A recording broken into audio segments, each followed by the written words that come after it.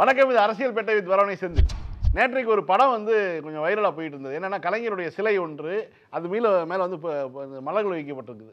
உடனே வந்து ஒரு பிஜேபி வந்து எடுத்து போட்டு இதெல்லாம் வந்து பாருங்கள் இதுக்கு வந்து ஏதாவது கேப்ஷன் சொல்லுங்கள் அப்படின்னு சொல்லி கேட்குறாங்க நிறைய பேர் நிறைய விஷயங்கள் சொல்லிட்டு இருக்காங்க. ஆனால் எல்லாமே பாசிட்டிவாக சொன்னாங்க. அதான் ரொம்ப முக்கியமான ஒரு செய்தி. அதில் வந்து திருக்குறளை மேற்கு மேற்கோள் காட்டி தான் வந்து நிறைய பேர் சொல்லியிருந்தாங்க. அதில் அது கரெக்டான ஒரு கேப்ஷன் தான் அந்த ஒரு குறள் வந்து ரொம்ப இதாக பேசப்பட்டது. முறை செய்து காப்பாற்றும் மன்னவன் மக்களுக்கு இறை என்று வைக்கப்படும் அப்படிங்கிற அந்த குறள் வந்து கலைஞரை வந்து ஏற்றுக்கிட்டோம் நாங்கள் வந்து அப்படி தான் இறை என்று நாங்கள் ஏற்றுக்கிட்டோம் ஏன்னா எங்களை காப்பாற்றிய ஒரு ஒரு எட்டு கோடி மக்களின் கடவுள் அவர் அப்படின்னு சொல்லி ஒரு மேற்கோள். இது மாதிரி பல்வேறு விஷயங்கள் நடந்தது. அதாவது நம்மளுடைய ஒரு ஒரு மனிதனுடைய வாழ்க்கை எப்படி வாழணும் அப்படிங்கிறது வாழ்ந்த பிறகு தான் தெரியணும். கலைஞர் வந்து அப்படி ஒரு ஒரு வாழ்க்கையை வாழ்ந்துட்டு போயிருக்காருங்கிறது வந்து இன்றைக்கி வந்து சொல்லுது. கிண்டல் அடிப்பதற்காக ஒரு ஒரு ப- படத்தை வந்து போடுறாங்க. போடும் பொழுது அதற்கு எதிர்வினையாக மக்கள் வந்து எப்படியான எதிர்வினை பண்ணுறாங்க அந்த எதிர்வினை பண்ணவன வந்து திமுக காரங்களோ அல்லது கலைஞருடைய ஆதரவாளரோ கிடையாது. பொதுமக்கள். பொதுமக்களில் இந்த குரல் சொல்கிறான் அதாவது கட்டை விரலோ தலையோ காணிக்கையாக எவனும் கேட்டால் இந்நாளில் அப்படின்னு சொல்லி அதாவது சுடுகாட்டில் அவன் கட்டை வேகும்னு சொல்லி எழுதுகிற ஒரு கலைஞர். அந்த வார்த்தையை மேற்கோள் கட்டுறாங்க. பல விஷயங்களை மேற்கோள் கட்டியிருக்காங்க. அவர் எவ்வளோ சமூக நீதி செஞ்சிருக்காருங்க விஷயங்களை மேற்கோள் கட்டுறாங்க. அதுதான் இந்த ஆட்சியினுடைய கலைஞருடைய ஆட்சியோட தொடர்ச்சியாக இது நடந்துகிட்டு இருக்குது இன்றைக்கி வந்து சட்டமன்றத்தில் பல்வேறு சம்பவங்கள் நடந்துகிட்டு இருக்குது அதுக்கெல்லாம் முன்னாடி கடந்த முறை கடந்த நிகழ்ச்சியின் போது அவர் செய்த ஒரு சம்பவம் வந்து இன்றைக்கி வரைக்கும் பெரிய ஒரு இஷ்யூவாக போயிட்டுருக்கு. என்ன அனைத்து சாதிகளும் அர்ச்சகர் வந்து ஒரு ஐம்பத்தெட்டு பேருக்கு பணியானை கொடுத்தாரு. அந்த அணிய அந்த பணி மூலமாக வேலைக்கு சேர்றாங்க. வேலைக்கு சேர்ந்தது வந்து தாங்க முடியாமல் ஒரு பொய்யான செய்திகளை பரப்புகிறாங்க வழக்கமாக சங்கிகள் செய்யக்கூடிய வேலைகளை அர்ச்சகர்கள் அர்ச்சகருடைய சார்பில் இருக்கக்கூடிய சில நபர்கள் செய்ய ஆரம்பிக்கிறாங்க. என்னன்னா அதாவது கண்ணீரோட வேலை பார்த்துட்டு இருந்தவங்க வெளியே அனுப்பிட்டாங்க. புதுசாக வந்து இந்த அரசு வந்து என்ன பண்ணிட்டாங்கன்னா புதிய அச்சர்களை உள்ளே நியமித்து உள்ளே அனுப்புகிறாங்க இவ்வளோ நாள் பூஜை பண்ணிகிட்டே இருந்தவர் அந்த சிலைக்கு வந்து கண்ணீர் விட்டு சிலையை கட்டி பிடிச்சி அழுதுகிட்டே வெளில போகிறாரு அப்படின்னு சொல்லி ஒரு வாய்ஸ் இதை வாய்ஸ் வந்து வாட்ஸ்அப்பில் விடுறது. எந்த கோயிலில்? எந்த அர்ச்சகர் வந்து இவ்வளோ நாள் வந்து ரொம்ப இதாக பூஜை பண்ணிட்டு இருந்தார்? அவர் எப்போ வந்து அவர் வெளியில் போக சொன்னாங்க? அப்படின்னு சொல்லி அரசு கேட்குது அப்போ பதில் கிடையாது. ஆனால் சமுதாயத்தில் பெரிய பெரிய பொறுப்பில் இருக்கிறவங்க பூரா பார்த்தீங்கன்னா வாட்ஸ்அப்பில் இதை அனுப்புகிறாங்க ஒரு என்ன சொல்கிறது ஒரு சிஏ முடித்து ஒரு ஆடிட்டர் வேலை பார்க்கக்கூடிய ஒரு நபர் வந்து வெளிப்படையாக எழுதுகிறார் இந்த மாதிரிலாம் வந்து உட உடனடியாக தமிழ் பேசக்கூடிய அர்ச்சகர்களை தமிழர்களை வந்து உள்ளே வந்து அர்ச்சகர்களாக கருவறைகளை உள்ளே அனுப்பிட்டாங்க. இவ உள்ள வேலை பார்த்த சிவாச்சாரியர்கள்லாம் கண்ணீரோடு அழுதுகிட்டு போகும் காட்சி. அப்படின்னு சொல்லி ஒரு ஃபோட்டோ போடுறாரு. அதுக்கப்புறம் இன்னொரு ஒரு ஃபோட்டோ போட்டார். என்னன்னா இவர்களை பூரா விரட்டி விட்டாங்க. அவர்கள் பூரா வந்து வாசல் வந்து உட்காந்துருக்காங்க என்ன செய்யுதுன்னு தெரியாமல் சொல்லி ஒரு ஃபோட்டோ போடுறாரு. ஆனால் உண்மை என்னன்னா அந்த ஃபோட்டோ அவர் போட்ட ஃபோட்டோ இருக்குது பார்த்தீங்களா அது வந்து கர்நாடகாவிலிருந்து இங்கே இருக்கக்கூடிய அர்ச்சகர் பயிற்சி மையத்துக்கு அதாவது பிற சாதியை சேர்ந்த தமிழர்களாக இருக்கக்கூடிய எம்பிசி பிசி பட்டியலினத்தை சேர்ந்த பழங்குடியினத்தை சேர்ந்த ஒரு கடவுள் நம்பிக்கை உள்ளவர்கள் பூரா வந்து கட கடவுள் பணிக்கு நாங்கள் வரோம். நாங்கள் அர்ச்சகராக விரும்புகிறோம்னு சொல்லி வராங்க. அர்ச்சகர் அந்த பயிற்சி மையத்துக்கு. ஆனால் பயிற்சி கொடுப்பதற்கு இங்கே இருந்த யாருமே முன்ன அர்ச்சகர்கள் யாரும் தயாராக இல்லை. எந்த சிவாச்சாரியாரும் வரல. வைணவத்தை சேர்ந்த யாரும் வரல. அப்போ கர்நாடகா மாநிலத்தை சேர்ந்த மனசாட்சி உள்ள ஒரு அர்ச்சகர் வராரு. அவர் வந்து இது வந்து மந்திரம் தான் கடவுளை வந்து வழிபடுவதற்கான ஒரு மந்திரம் தான் அதனால் நான் சொல்லித்தரேன் இதை அப்படின்னு சொல்லி கர்நாடகாவில் வந்து ஒருத்தர் வராரு. வந்தவரை இங்கே இருக்கக்கூடிய அர்ச்சகர்கள் கூடி அடித்தார்கள். அடித்து அவர்கள் போலீஸ் பாதுகாப்பு கேட்டு உட்காந்துருந்த அந்த காட்சி அதை ஃபோட்டோ எடுத்து போட்டு இப்போ நடந்தது இப்போ ரெண்டாயிரத்தி பத்தில் நடந்த விஷயத்தை திமுக ஆட்சி காலத்தில் அர்ச்சகர் பயிற்சிமை நடந்த போது நடந்த விஷயத்தை வந்து இப்போ எடுத்து போட்டு இப்போ நடந்த மாதிரி வந்து பொய் செய்தி பரப்புனாங்க. முதலமைச்சர் பேசினார் சட்டமன்றத்தில். இந்த மாதிரிலாம் பொய் செய்தி பரப்பப்பட்டு இருக்கா? செய்தி வருது எனக்கு அப்படின்னு ஒரே ஒரு வார்த்தை தான் சொன்னார். சமூக வலைத்தளங்களில் போலியாக இது போன்ற செய்திகள் பரப்பப்பட்டு இருக்குது. அப்படின்னு ஒரு ஒரு வார்த்தை சொன்னாரோ இல்லையோ உடனே வந்து அந்த கடையை மூடிட்டாங்க. அந்த பொய் சொன்ன ஆட்கள் பூரா பயம் இருக்கும்ல. ஏன்னா அவங்க முன்ன பின்ன போலீஸ் ஸ்டேஷனுக்கே போயிருக்க மாட்டாங்க. அவங்க கோயிலுக்கு மட்டும்தான் போயிருப்பாங்க. அல்லது சிஏ ஆஃபீஸுக்கு போயிருப்பாங்க. காலேஜுக்கு போயிருப்பாங்க. பேராசிரியராக இருந்திருப்பாங்க. இந்த மாதிரி பெரிய பெரிய வேலைகள் பார்த்துருப்பாங்களே தவிர அவங்க போலீஸ் ஸ்டேஷனுக்கோ ஜெயிலுக்கோ போகவே மாட்டாங்க. அதனால் முதலமைச்சர் சொன்னோடனே பயம் வந்து உடனே எல்லாத்தையும் நீக்கிட்டு மன்னிப்பு கேட்குறேன் நான் வந்து தப்பாக சொல்லிட்டேன் அப்படின்னு சொல்லி போடுறாங்க. ஆனால் சமூகத்துக்குள்ளே எவ்வளோ பெரிய விஷ விதை ஊன்றாங்க பார்த்தீங்களா பொதுவெளியில் எழுதக்கூடிய விஷயங்களை அழிச்சிட்டு வாட்ஸ்அப்பில் பரப்பி விடுறது.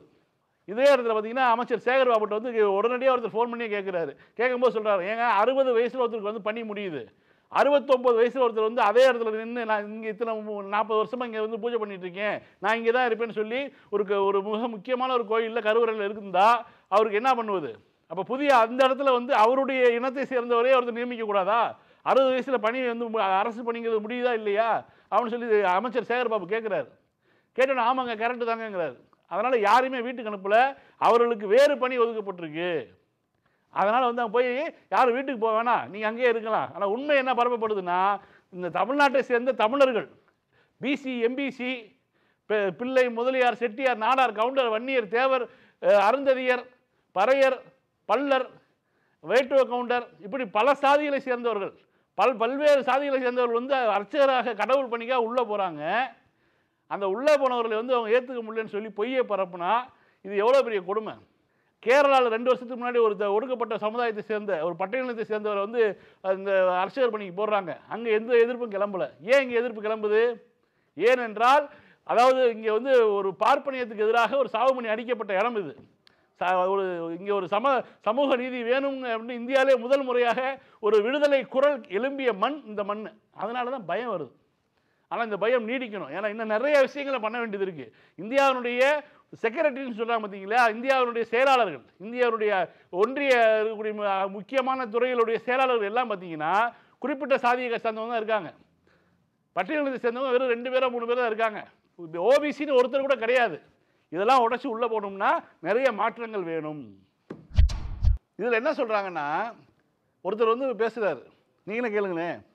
கெடுமிடராயவெல்லாம் கேசவா என்று ஆழ்வார் சொல்லுகிறார். இடர் வரும்பொழுது கேசவா என்கிற திருநாமத்தை சொன்னால் வந்த இடர் பொடி ஆகும் என்று இதற்கு அர்த்தம். தமிழை ஆழ்வார் அந்த நாட்டு அரசன் ஆழ்வாரை அந்த இடத்தை விட்டு வெளியே செல் என்று சொன்னவுடனே காஞ்சிபுரத்தில் எழுந்திருந்த சொன்ன வண்ணம் செய்த பெருமாளை பெருமாளே நான் இந்த ஊரை விட்டு செல்கிறேன். உனக்கு இங்கே என்ன வேலை? நீனும் வா என்று கூட்டிக் கொண்டு சென்று விட்டார். செய்யாதன செய்யோம் என்று ஆண்டாள் சொல்லியிருக்கிறார். அப்படி என்றால் செய்ததை செய்ய வேண்டும் என்று அர்த்தம். அந்நிய நாட்டு படையெடுப்பின் பொழுது கோவில்களிலே பூஜை செய்ய முடியாத நிலை ஏற்பட்டது. அன்று நம் பெரியோர்கள் ஆகமங்களில் சொன்னபடி அந்த கோவிலிலே குடிகொண்டிருக்கும் எம்பெருமானை ஆவாகனம் செய்து அவர்களுடன் எழுந்தருளப் பண்ணி கொண்டு சென்று விட்டார்கள். அதாவது கோவிலிலே இருந்த அந்த சக்தியை மந்திரங்களை பிரயோகம் செய்து ஆகமங்களில் சொன்னபடியான வழிமுறைகளிலே அந்த பெருமானை எழுந்தருளப் பண்ணி கொண்டு பாதுகாப்பான இடத்திலே சென்று நித்திய திருவாராதனங்கள் எல்லாவற்றையும் செய்து கொண்டிருந்தார்கள். அவர்கள் காட்டிய வழியிலே நாம் நடக்க வேண்டிய கட்டாயம் என்று. இன்றும் கோவிலிலே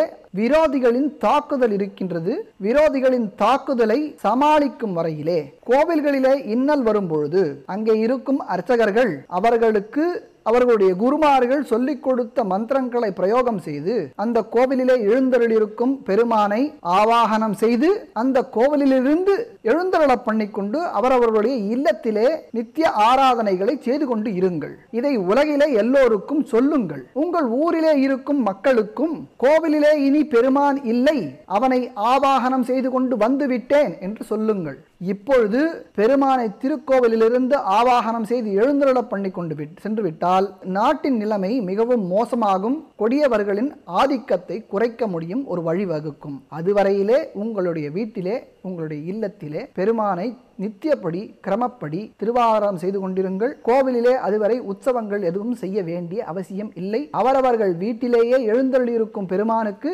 மானசீகமான பூஜைகளையும் உற்சவங்களையும் தவறாமல் ஒரு நாளும் விடாமல் செய்து கொண்டிருக்க வேண்டிய முக்கிய பொறுப்பு அந்த அந்த அர்ச்சகர்களுக்கு இருக்கிறது. இதுதான் பெருமான் எனக்கு கொடுத்த உபாயம். இதை உங்களிடம் பகிர்ந்து கொள்ள வேண்டும் என்று பகிர்ந்து கொண்டேன். ஸ்ரீமதே ராமானுஜாயனம் ஆவாகனமா? அதான் என்னமோ சொல்கிறாரு சொல்லி அந்த இதை வந்து கொண்டு போய் எதை கொண்டு போய் சிலையை கொண்டு போய் சொல்கிறாரு இந்த மாதிரிலாம் வந்து அடுத்தவங்க வந்து வேறு ச- அடுத்தவங்கன்னா என்ன? வேறு ஜாதிக்காரங்க. அவர்களை தவிர பார்ப்பனர்களை தவிர வேறு யாராவது கருவறைக்குள்ளே பூசப்பட்டேங்கிற பேரில் வந்தால் வலுக்கட்டாயமாக அரசால் நியமிக்கப்பட்டால் சாமி சிலை எடுத்து வீட்டுக்கு போங்க அதில் ஆகமத்தில் இருக்குங்கிறாங்க. இந்த ஆகமம்னு ஒன்று வச்சுக்கிட்டு இவங்க உருட்டுற உருட்டு இருக்கே அது முதல்ல என்னான்னு கேட்கணும். அது முதல்ல எங்கே இருக்குது? அது ஏதாவது புக் இருக்குதா? அப்படின்னு கேட்கணும். இவர் சொல்கிறாரு பாருங்க வெளிப்படையாக சொல்கிறாரு அதாவது கடவுளர் சிலைகளை வீட்டுக்கு எடுத்துகிட்டு போகலாம் அப்படிங்கிறாரு. நாடு நாசமாக போகுங்கிறாரு. இது வந்து தேச துரோகம் இல்லையா? இவர் மேலே தேச துரோக வழக்கு போடலாமா இல்லையா?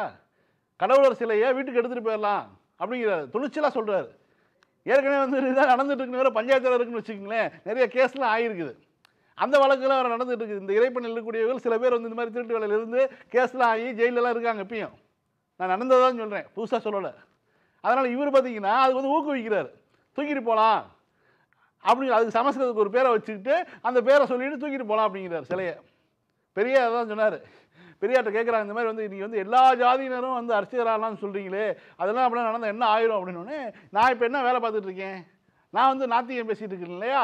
அதை வந்து அங்கே இவ்வளோ நாள் இருந்தாங்க பார்த்தீங்கன்னா அவங்க பண்ண ஆரம்பிச்சிருவாங்க. சக்தி இல்லைப்பா நாங்கள் எல்லாருமே சக்தி கிடையாது. அப்படின்னு சொல்லி சொல்லி சொல்ல ஆரம்பிச்சிருவாங்க. சொல்லி பெரியார் ரொம்ப தெளிவாக சொல்லிட்டு போயிருக்காரு. நூறு நாட்கள் ஆச்சு இந்தியாவினுடைய மாநிலங்கள் ஒன்றான தமிழ்நாட்டில் புதிய திமுக ஆட்சி அமைந்து நூறு நாட்கள் கடந்துருச்சு. இந்த நூறு நாட்கள் கடந்ததுக்கு அந்த நேரத்தில் இந்தியா டுடே இந்தியா முழுந்து வரக்கூடிய ஒரு பத்திரிகை அந்த ஒரு அவங்க இதெல்லாம் வச்சுருக்காங்க தொலைக்காட்சி சேனல்லாம் வச்சுருக்காங்கன்னு வச்சுக்கோங்களேன். அவங்க அவங்க வந்து ஒரு சர்வே முடிவுகள் வெளியிடுறாங்க. இந்தியாவில் சிறந்த முதல்வர்கள் யார் அப்படின்னு சொல்லி ஒரு பதினோரு பேருடைய பட்டியல். அதில் முதல் இடத்தில் இருப்பவர் நம்மளுடைய முதலமைச்சர். திமுகவினுடைய தலைவர் திரு மு க ஸ்டாலின் அவர்கள் நாற்பத்தி ரெண்டு சதவீத மக்கள் வந்து ஆதரவு தெரிவிக்கிறாங்க. அதாவது சிறப்பான முதலமைச்சராக வந்து மக்கள் வந்து ஏற்றுக்கிட்டு ஆதரவு தெரிவிக்கிறாங்க. அப்படின்னு நூறே நாள் தான் ஆச்சு. அவர் ம முதலமைச்சராக பதவியேற்று நூறே நாட்கள் தான் ஆச்சு. முத்துவேல் கருணாநிதி ஸ்டாலின் ஆகிய நான் அப்படின்னு சொன்னார் இல்லையா? சொல்லிட்டு ஒரு பார்வை பார்த்தார் இல்லையா?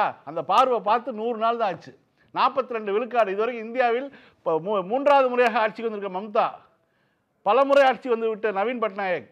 இது மாதிரியான முதலமைச்சர்கள் இருக்காங்க. இந்த முதலமைச்சர்கள்லாம் மீறி முதல் இடத்துல இருக்கார். இன்னைக்கு நாற்பத்தி ரெண்டு சதவீதம்னா சாதாரண விஷயம் கிடையாது. அதுவும் நூறே நாட்கள்ங்க மூணு மாதத்தில் ஒட்டுமொத்த ஒரு மாநில மக்களுடைய முழுமையான நம்பிக்கையை பெற்று இந்திய அளவில் நாற்பத்தி ரெண்டு சதவீத அந்த சர்வே முடிவுகளோட வந்து முதல் இருக்கார். முதல் ஐந்து இடத்துல இருப்பவர்கள் எல்லாருமே பார்த்தீங்கன்னா பாஜக அல்லாத மாநிலத்தை சேர்ந்த இவங்க மாநில கட்சியை சேர்ந்தவர்கள். முதல் ஐந்து இடத்துல இருக்கவங்க. ஆனால் முதல் இடத்தில் இருப்பவர் நம்மளுடைய முதலமைச்சர். எவ்வளோ பெருமையாக இருக்குது நூறே நாளில் இந்த பேரை வாங்கணும்னா நூறு நாளில் இவ்வளோ சாதனை செய்ய முடிஞ்சால் இன்னும் வரக்கூடிய நாட்கள் சிறப்பான நாட்களாக இருக்கும். அடுத்து இன்னும் ஒரு இருபது வருஷத்துக்கு திமுகவினுடைய ஆட்சி தான் பேசக்கூடிய அளவில் தான் இருக்குது. ஏன்னா செய்யக்கூடிய விஷயங்கள் சமூக நீதியா? அற்புதமான விஷயம். அனைத்து சாதியிலும் அர்ச்சகர். எல்லாருக்கும் அந்த உரிமை உண்டு. நீ ஒன்று எப்படி கடவுள் எல்லோருக்கும் பொதுவானவரோ அதே போல் கல கடவுளை வழிபடுவதற்கு கடவுளை தொட்டு புலங்குவதற்கு எல்லோருக்கும் உரிமை உண்டுங்கிற ஒரு விஷயம். ரொம்ப சாதாரணமாக செஞ்சுட்டு போனார். அது ஒரு பெரிய ஒரு ச பெரிய கஷ்டப்பட்டான விஷயம்லாம் கிடையாது. சாதாரணமாக ஒரு காலை பொழுதில் எழுந்து ஒரு அறிவிப்பை வெளியிட்டு முடிச்சுட்டு போயிட்டு அந்த ஐம்பத்தெட்டு பேத்துக்கு ஆணையை கொடுத்துட்டு. இது மாதிரி எவ்வளோ விஷயங்களை பண்ணியிருக்காரு. பெண்களுக்கு இலவச ப- பேருந்து பயணம். எவ்வளோ பெரிய ஒரு விடுதலை அது? யாரையும் நம்பியிருக்க வேணாம். வேலைக்கு போகணும் வரணும்னா நம்ம சம்பளம் வாங்கக்கூடிய முந்நூறுரூவாவில் அறுபது ரூபா போகுது சென்னையில். பெண்களுக்கு வந்து அறுபது ரூபாலேருந்து எண்பது ரூபா வரைக்கும் ஒரு நாளைக்கு வந்து இப்போ பேருந்து பயணத்துக்கே கட்டணம் வருது. எல்லா விஷயத்துலையும் இது பண்ணி விட்டு போயிட்டார். இன்றைக்கி மிகப்பெரிய ஒரு விடுதலை கொடுத்துட்டு போயிட்டார். அடுத்து வரப்போகுது பெண்களுக்கு வந்து மாதம் ஆயிரம் ரூபாய் குடும்ப தலைவிகளுக்கு. ம- ஒரு வருஷத்துக்கு பன்னிரெண்டாயிரம் ரூபா. கிட்டத்தட்ட ஒரு கால் பவுன் தங்கம் வாங்கலாம். அந்த அளவுக்கான ஒரு ஒரு புதிய திட்டத்தை வந்து அறிவிச்சிருக்காரு. இப்படி நூற்றுக்கணக்கான திட்டங்கள் நூற்றுக்கணக்கான அறிவிப்புகள் எல்லாமே சிறப்பான அறிவிப்புகளாக இருக்குது. இதில் வந்து பல்வேறு விஷயங்கள் நடந்துருக்கக்கூடிய சூழலில் தான் எடப்பாடி வேற போராட்டம் பண்ணார். திமுக வாக்குறுதியில் சொன்னதில் சரியாக பண்ணலை. சில விஷயங்கள் விட்டுட்டாங்க. அவங்க ஒன்று சரியாக பண்ணணும் அப்படின்னாங்க. அதுக்கப்புறம் என்ன ஆயிடுச்சுன்னா சரியாக பண்ணிட்டார். என்ன? திமுகவினுடைய வாக்குறுதியில் ஒன்று சொல்லி சொல்லியிருந்தாரு. அதாவது கொடநாடு ஜெயலலிதாவினுடைய பங்களாவில் வந்து கொள்ளையடிக்கப்பட்டது. அந்த காவலாளி கொலை செய்யப்படுகிறார். கொள்ளையடிச்சு கொள்ளை சம்பவம் நடக்குது. இவ்வளோ நடந்திருக்குது. ஆனால் அதுக்கு பிறகு வந்து அந்த க சம்பவத்துக்கு தொடர்புடைய ஆட்கள் ஒவ்வொருத்தராக செத்து போகிறாங்க எல்லாரும் சொல்லி வச்ச மாதிரி ஆக்சிடென்ட்லேயே செத்து போகிறாங்க அந்த அந்த உள்ளே போய் கொள்ளையடிச்சவர் வந்து அப்ரூவராக மாறுகிறார். என்னை வந்து செய்ய சொன்னது இவங்க தான் அப்படின்னு சொல்லி ஒரு பேச்சு ஒரு ஒருத்தர் ஒருத்தருடைய பேரை அன்னைக்கு சொன்னார். அந்த பேரை சொன்னதுக்காக அவர்கள் விரட்டப்பட்டார்கள். கொண்டு போய் சிறையில் அடைக்கப்பட்டார்கள். அவங்க வாய் மூடி மௌனியமாக ஆக்கப்பட்டாங்க. அதுக்கப்புறம் ஆட்சி மாறுது. இப்போ வந்து மறு விசாரணைகள் ஆரம்பிக்கிறாங்க. விசாரணை ஆரம்பத்திலே முதல்ல ஒரு தகவல் சொல்லிட்டார். எடப்பாடிக்கு மிகவும் வேண்டியவர் தான் சொல்லி தான் செஞ்சோம். அவர் தான் எங்களை செய்ய சொன்னார்னு சொல்லி ஒரு தகவல் வருது நேற்று இன்னைக்கு எடப்பாடி வந்து சட்டமன்றத்தில் போய் கதறாரு. ஐயோ ஐயோ ஐயோ ஐயோ ஐயோன்னு. பக்கத்தில் வந்து பார்த்தீங்கன்னா இதே இது ரெண்டாயிரத்தி பதினேழாம் ஆண்டு ஜூன் மாதம் வந்து பேசியிருக்காரு. கொடநாடு கொள்ளை சம்பவத்தில் என்ன நடந்தது? உண்மை தெரிய வேண்டும் நாட்டுக்கு. உடனடியாக விசாரணை நடக்கணும்னு சொல்லி சொன்னவர் யாருன்னா அன்னைக்கு இருந்த ஓபிஎஸ் இன்றைக்கி அவரும் பக்கத்தில் உட்காந்துக்கிட்டு பாவம் அவரை விட்டுருங்க பாவம் அவரை விட்டுருங்கிற மாதிரி சொல்லிகிட்டு இருக்காரு. அரசு வந்து பொய் வழக்கு போடுது அப்படின்னு. பொய் வழக்குனா கொடநாட்டில் கொள்ளையே நடக்கலையா? கொடநாட்டில் வந்து கொலையே நடக்கலையா? அஹ் அந்த இதில் சம்மந்தப்பட்டவங்க யாருமே வந்து ஆக்சிடென்ட் இற மர்மமான முறையில் இறக்கலையா? அதில் அதுக்கப்புறம் என்ன பொய் வழக்கு? ஏங்க உங்களுடைய ஆட்சி காலத்தில் உங்க நீங்கள் யார் முதலமைச்சரோ அவர் மீது தான் கை நீருது எல்லாருடைய க கரமும் நீளுது. இவர் தான் குற்றவாளியாக இருக்க வாய்ப்பு அதிகம்னு. எடப்பாடியை பற்றி சொல்லணும்னா எடப்பாடியோடைய பழைய ஹிஸ்டரி இருக்குது பார்த்தீங்களா அவர் பதினெட்டு வயசுலேயே பல கொலைகளை பண்ணவருங்கிற செய்தியெல்லாம் இருக்குது. இவ்வளோ தூரம் வந்து ஒரு மோ ஒரு ஒரு ஒரு- ஒரு கொடூரமான ஒரு மனிதராக தான் அவருடைய அரசியல் வா- ஒரு என்ட்ரியே இருந்திருக்குது. அதற்கு பிறகு தான் அவர் வளர்றாரு. அன்னைக்கு அவர் தப்பிச்சிருந்தாலும் இந்த விஷயத்தில் தப்பிக்க முடியாது. ஏன்னா நடக்க போகிறது திமுக ஆட்சி. அதனால் கன்ஃபார்மாக உண்டு. அதே மாதிரி தான் நம்மளுடைய முதலமைச்சர் சட்டமன்றத்தில் ஒரு சரியான பதில் சொன்னார். ஏப்பா நீங்கள் தானே போராடினீங்க. வீட்டு வாசலில் வந்து நின்று திமுக வாக்குறுதியை நிறைவேற்றுங்க நிறைவேற்றுங்கன்னு போராடினீங்க. நிறைவேற்ற ஆரம்பிச்சிருக்கோம். இதுக்கே உங்களுக்கு வந்து ஐயோ அப்பானா அப்படின்லாம் வந்து பேசிக்கிட்டு இருக்காரு. கரெக்டான விஷயம் தான் சொல்லியிருக்காரு. இதான் நடக்க போகுது. இதில் இன்னொரு ஒரு விஷயம் என்னென்னா இவர் கண்ணில் பயம் பார்த்தாச்சு. எடப்பாடியினுடைய கண்களில் பயம் தெரியுது. ஏன் இந்த பதட்டம்? ஏன் இந்த அலறல்? ஏன்னா இன்னொரு பக்கம் பார்த்தீங்கன்னா தமிழ்நாட்டினுடைய ஒரு டிஜிபி ஒரு ஒரு கூடுதல் டிஜிபி வந்து போய் சொல்கிறார் தமிழ்நாட்டில் வழக்கு நடத்தக்கூடாதுன்னு சொல்லி உச்சநீதிமன்றம் வரைக்கும் போகிறார் அப்போ உச்சநீதிமன்றம் அதை தள்ளுபடி பண்ணிட்டாங்கன்னு வச்சுக்கங்களேன். இது மாதிரி தான் நிறைய பேர் சம்மந்தப்பட்டவங்க எல்லாமே வந்து தொடர்ந்து வந்து நீதிமன்றத்தில் தான் வந்து இப்போ விசாரணை நடக்க போகுது. இந்த தி எல்லாமே வந்து திமுக அரசு திமுக மந்திரிகள் யாரும் திமுகவுடைய அமைச்சர்கள் யாரும் விச- விசாரணை பண்ணி தீர்ப்பு தரப்போகிறது கிடையாது. முதலமைச்சர் விருது வந்து அறிவிக்க போகிறது இல்லை இவர் தான் குற்றவாளின்னு சொல்லி. எல்லாமே நீதிமன்றத்தில் நட நடக்க போகுது. நீதிமன்றத்தில் வந்து விசாரணை நடந்து விசா யார் யாரெல்லாம் சாட்சிகளோ சாட்சிகளை விசாரித்து அவருக்கு பிறகு தான் தண்ட- தண்டனை வரப்போகுது. ஆனால் அதுக்கு முன்னாடி எடப்பாடி வந்து பதறாரு அந்த பதட்டம் நமக்கு ஏதோ ஒரு விஷயத்தை வந்து உறுதியாக சொல்லுது.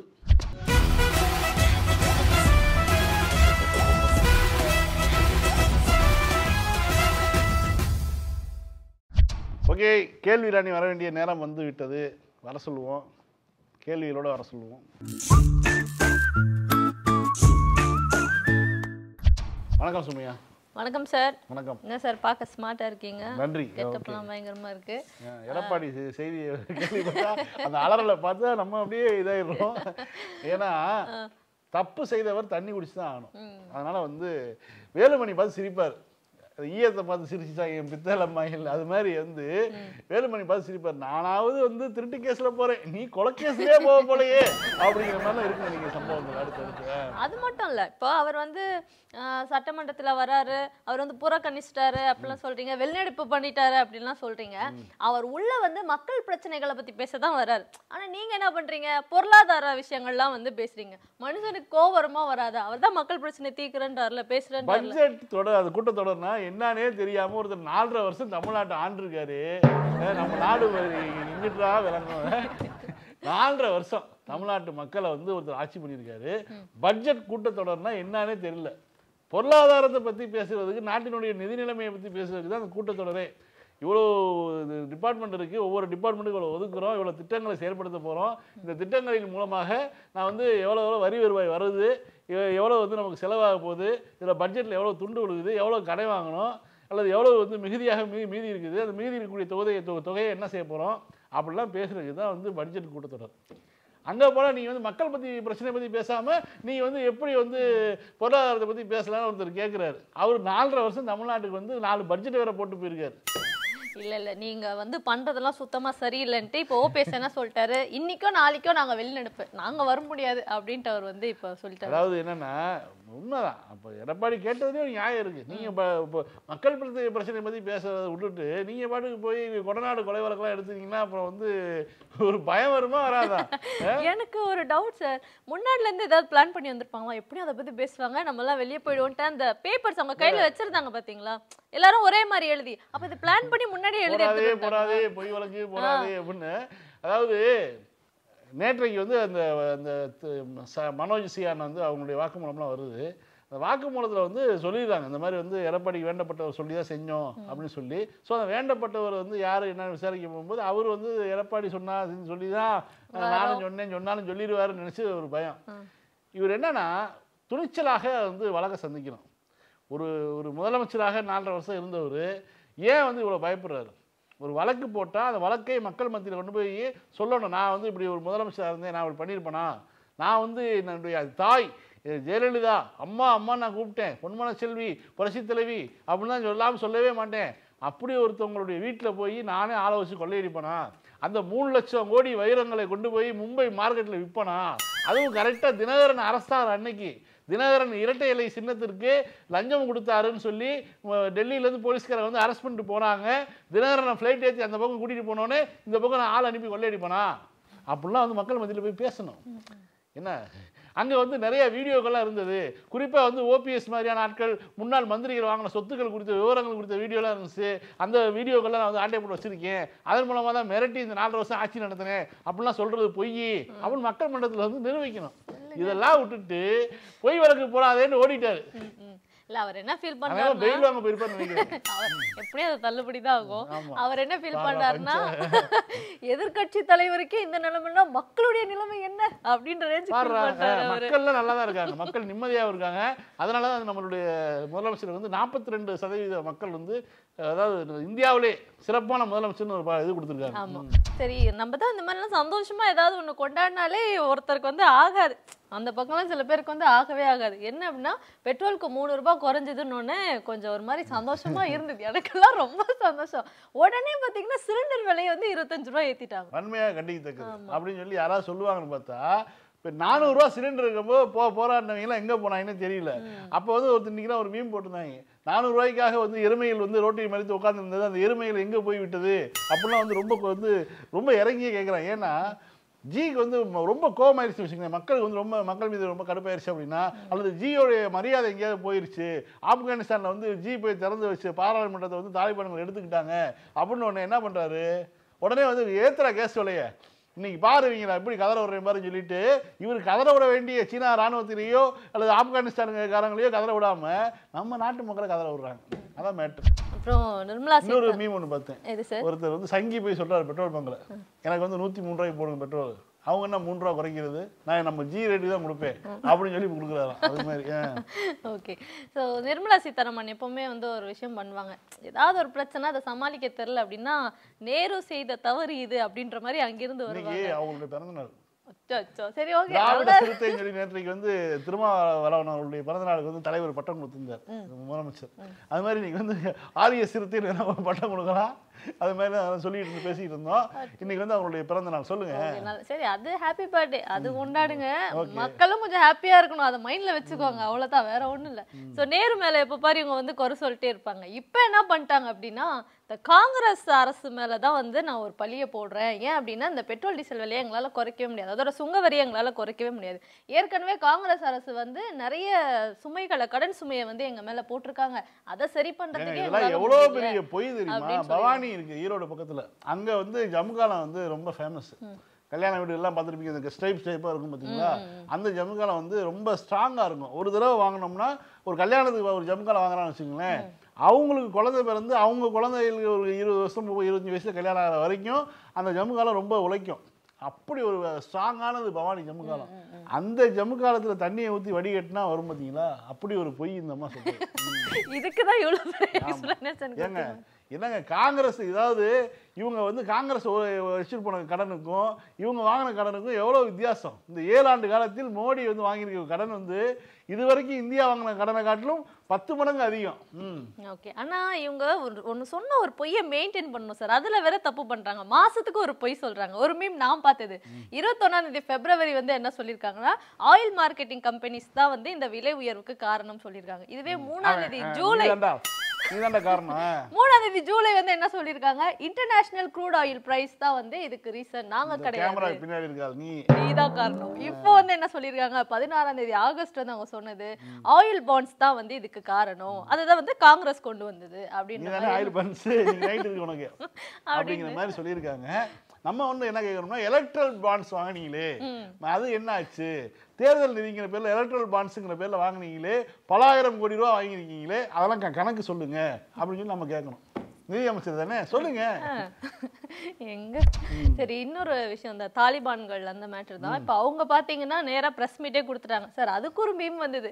நேத்து வந்து ஊரை பிடிச்சவெல்லாம் பிரஸ் மீட் தரான். நீயும் இருக்கியே அப்படின்ற மாதிரி ஒரு விஷயத்த வந்து சொன்னாங்க. இப்ப இவங்க என்ன சொல்றாங்கன்னா இந்த பெண்களுக்கு எதிரா வந்து நாங்க எதுவுமே பண்ண போறது இல்ல அவங்க வந்து அவங்க படி வேலைக்கு போட்டோம் ஸ்கூல் போகணும்னா போட்டோம். நாங்க வந்து அவங்கள எதுவுமே பண்ண போறது கிடையாது. அப்படின்ற மாதிரி அந்த பிரஸ் மீட்ல அவங்க சொல்லியிருக்காங்க. ஒரு இன்டர்வியூ மாதிரி வந்து கொடுத்துருக்காங்க. ஸோ நாட்டு மக்கள் வந்து சந்தோஷமா இருக்கலாம் ஒரு கால் அவங்க சொன்னபடி நடந்துட்டாங்கன்னா உண்மையாவே மகிழ்ச்சியான விஷயம் தான் ஆனா என்னன்னா குறிப்பா வந்து அவர்களுடைய ஏற்கனவே இருந்த ஆட்சியில வந்து என்ன பண்ணாங்கன்னா எட்டு வயது வரைக்கும் தான் பெண்களுக்கான அந்த பள்ளிக்கான போறதுக்கான வாய்ப்பு.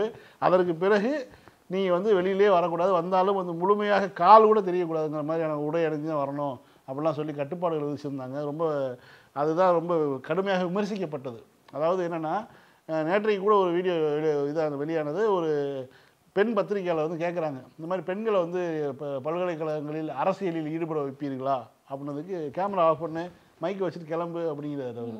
ஒரு பக்கம் வந்து ப்ரெஸ் மீட்டில் நாங்கள் வந்து எல்லோருக்கும் பொது மன்னிப்பு கொடுத்துட்டோம் அப்படின்னு ஒரு அறிவிப்பு வருது. இன்னொரு பக்கம் பார்த்தா இது நடக்குது. ஆனால் ஒரு கால அவர்கள் வந்து சர்வதேச ரீதியாக இனிமேல் வந்து உலகத்தை பகைச்சிக்க வேணாம். ஏன்னா இந்த இருபது ஆண்டுகள் வந்து கடுமையாக அவர்களும் நிறைய இழந்திருக்காங்க. நிறைய விஷயங்கள் வந்து அவர்களுடைய இழப்புகள் ஏற்பட்டிருக்குது. அதனால் அவர்களுடைய மாற்றம் அவர்களும் வந்திருக்கு வந்திருக்கலாம். அப்படி இருந்தால் கூட நம்ம வரவேற்கலாம் ஏன்னா இன்னொரு விஷயத்தை பார்க்கணும். சீனா அரசும் ஆதரிக்குது. ரஷ்யாவும் ஆதரிக்கிறாங்க. எல்லோரும் வந்து அந்த தாலிபான்களை ஆதரிக்கக்கூடிய ஒரு சூழல் உருவாகி இருக்குது நம்ம ஜி மட்டும்தான் பேல் பத்திரி டிங் அப்படின்னு உட்காந்துருக்காரு. எல்லா பேரும் ஒரு நிலைப்பாடு எடுத்துட்டாங்க. இவருக்கு மட்டும் எந்த நிலைப்பாடும் கிடையாது. ஏன்னா ராஜதந்திர ரீதியாக இந்தியா ஒரு ஒரு படுதோல்வியை சந்திச்சுட்டே இருக்குது தொடர்ந்து. இந்த பக்கம் வந்து சீனாட்ட வந்து எந்த விதமான முன்னேற்றமும் கிடையாது. பங்களாதேஷ்ட கூட வந்து நம்மளால் வந்து சரியான ஒரு உறவை பேண முடியாமல் இருக்குது. இலங்கைக்காரன் பார்த்தா நம்மளை மதிக்கிறதே இல்லை.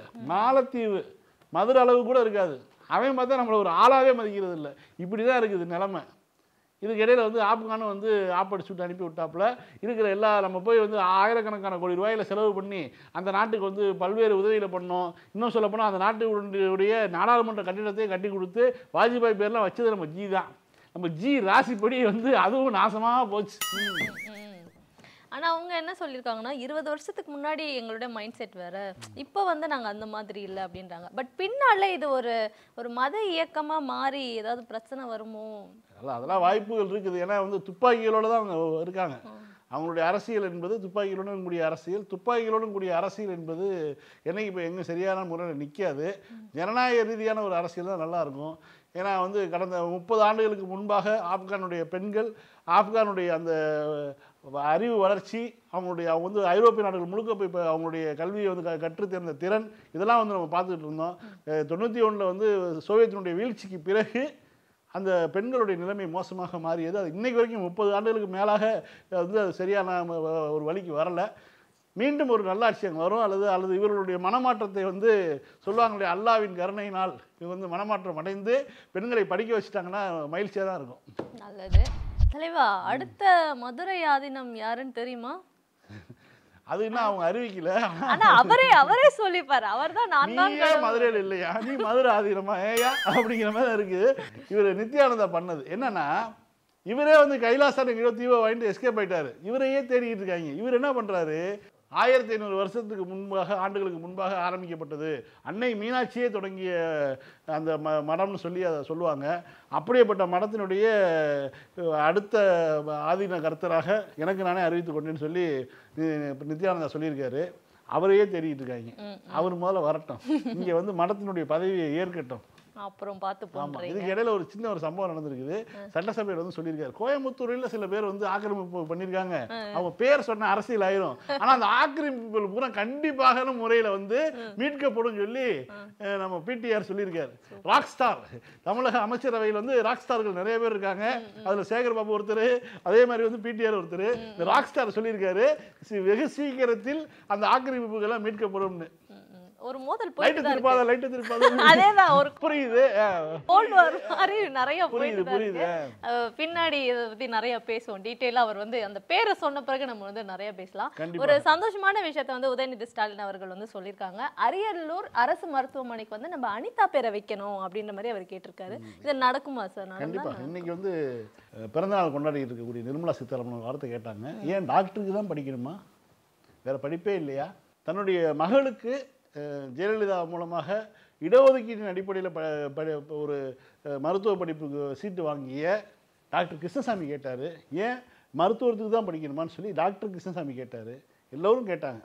அந்த பொண்ணு வந்து ப்ளஸ் டூ வரைக்கும் வந்து மருத்துவர் ஆகணுங்கிற கனவோடு தான் படிக்குது. ஆயிரத்தி நூற்றி எழுபத்தாறு மார்க் வாங்குது. அது மெரிட்டு அது வந்து மெரிட்டுங்க மெரிட் மார்க்கு அது வந்து அன்றைக்கு நீட்டு இல்லாமல் இருந்தால் அந்த அம்மா நேரடியாக டாக்டர் இந்நேரம் வந்து ரெண்டு மூன்றாவது ஆண்டு முடித்து நான்கு நான்காவது ஆண்டை நோக்கி போயிருக்கோம். ஆனால் அன்றைக்கி வந்து என்ன பண்ணாங்க? நீட்டுங்கிற ஒரு விஷயத்தை கொண்டு வந்து அந்த அந்த மாணவியினுடைய கனவை சிதைத்து அது உச்சநீதிமன்றம் வரைக்கும் போய் போராடிச்சு. கடைசியில் வேறு வழியே இல்லாமல் தன்னுடைய உயிரை மாய்த்து கொண்டது. அது தவறான முடிவு தான். இருந்தாலும் இது போன்ற எத்தனையோ அனிதாக்களை இந்த எடப்பாடியினுடைய அரசு உருவாக்கியது. அதற்கு மோடியினுடைய அரசு துணை போனது. நம்ம திரும்ப திரும்ப கேட்குறோம் நமக்கு தேவையில்லைன்னு சொல்லி சொல்கிறோம் ஒரு பிடிக்கலைன்னா விட்டுறணும் எப்படி வந்து மிசோராம்காரன் வந்து என் மாநிலத்துக்கு உள்ளே வரணும்னா நான் டெல்லியில் நீ என்னுடைய மாநில அலுவலகம் இருக்குது. அங்கே நீ பாஸ் வாங்கிட்டு தான் உள்ளே வரணும். அப்படின்னு சொல்கிறம்போது மணிப்பூர்காரன் சொல்லும்போது இந்திய ச- ஒன்றிய அரசு வந்து ஒத்துக்கதா இல்லையா? இந்திய ஒன்றிய அரசினுடைய ஒப்புதலின் பேரில் அந்தந்த மணிப்பூர் மாநிலத்துக்கு நீங்கள் போகணும்னா நேரடியாக போக முடியாது. மணிப்பூர் மாநிலத்தினுடைய அலுவலகம் டெல்லியில் இருக்குது. அந்த டெல்லியில் கூடிய அலுவலகத்தில் நீங்கள் போய் உள்ளே போய் என்ட்ரி சீட் வாங்கிட்டு தான் போக முடியும். அதாவது விசா இந்தியாவில் ஒரு மாநிலம் தான். இந்திய ஒன்றியத்தில் ஒரு மாநிலம் தான் மணிப்பூர். ஆனால் அங்கே போகணும்னா நேரடியாக நீங்கள் போக முடியாது. அப்போ ஒவ்வொரு மாநிலத்துக்கும் சிறப்பாக பல்வேறு விஷயங்கள் கொடுத்துருக்கீங்களா இல்லையா?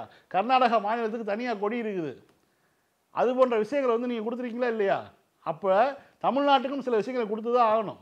சில சில- நீக்கங்கள் எங்களுக்கு எங்களுக்கு எங்களுக்கு சில விஷயங்கள் தேவையில்லைன்னு தேவையில்லை தான் அதன் அடிப்படையில் தான் தடையை கேட்குற தடை நீ நீட்டு வந்து தடை செய்யணும்னு சொல்கிறோம் எங்களுக்கு நீட்டு வேணான்னு சொல்கிறோம் அதை அவங்க ஏற்றுக்கலை இன்றைக்கி சொல்கிறாங்களே அர்ச்சகராகிறதுக்கு வந்து தகுதி வேணும் திறமை வேணும் ஆகமும் சொல்லுது அது சொல்லுது இது சொல்லுதுன்னு சொல்கிறாங்க இல்லையா? ஆனால் அதான் நம்ம என்ன கேட்குறோம்? மருத்துவம் படிக்கிறதுக்கு நீங்கள் வந்து நீட்டு வச்சு தான் ஆகணுமா? அதுக்கு நீங்கள் வைக்க மாட்டீங்களா? அன்றைக்கி அதுக்கு தகுதி தேர்வு வைங்க. அர்ச்சகராருக்கு தகுதி தேர்வு வைங்க. மந்திரங்களை சரியாக சொல்கிறீங்களா ஒரு ஒரு துளி கூட மாறாமல் சொல்கிறீங்களான்னு சொல்லி தகுதி தேர்வு வைங்க. ஏன் இந்த மருத்துவம் படிக்கிறதுல மட்டும் கொண்டு நீட்டை உடந்த வச்சு ஒரு பிசி எம்பிசி எஸ்சி எஸ்டி பிள்ளைகளை வந்து படிக்க விடாமல் பண்ணுறீங்க அப்படின்னு இந்த கேள்வி. அதுக்கு சரி அது சரி. தன்னுடைய கண்ணி பேச்சு இன்னைக்கு. தமிழக சட்டமன்றத்தில் முதல் முறையாக திரு உதயநிதி அவர்கள் பேச வர்றார். கலைஞர் அவர்கள் பேசும்போது விவசாய தொழிலாளர்களுக்காக பேசினார். அதே பகுதி. அன்றைக்கு வந்து ஒன்றுபட்ட திருச்சி மாவட்டத்தை சேர்ந்த குளித்தலை தொகுதியில் வந்து அன்றைக்கி வந்து க- கலைஞர் ஜெயிச்சு வராரு ஐம்பத்தி ஏழில் ஜெயிச்சு வந்து அந்த பகுதியினுடைய விவசாய தொழிலாளர்களுக்காக தன்னுடைய முதல் கன்னி பேச்சில் வந்து தன்னுடைய கோரிக்கையை வச்சார். இன்றைக்கி வந்து அதே பழைய திருச்சி மாவட்டத்தினுடைய இதாக இருந்த அரியலூர் மாவட்டத்தினுடைய ஒரு மருத்துவக் கல்லூரிக்கு அனிதா அந்த மாணவி அந்த அரியலூரை சேர்ந்த அனிதாவுடைய பேரை வைக்கணும்னு சொல்லி கோரிக்கை வச்சுருக்காரு. சிறப்பான விஷயம் மகிழ்ச்சியான விஷயம் வரவேற்க தகுந்த விஷயம். அனிதாக்களை வந்து இனிமேல் வந்து அனிதாக்களை உருவாக்குவோம் அனிதாக்களை மருத்துவராக்குவோம் அப்படிங்கிறது வந்து ஒரு லட்சியமாக எடுத்துக்கணும் நீ. எஸ் அப்படின்னு சொல்லிட்டு இதோட நாங்க கிளம்புறோம். திரும்ப வந்து அடுத்த ஷோல மீட் பண்றோம். நன்றி வணக்கம்.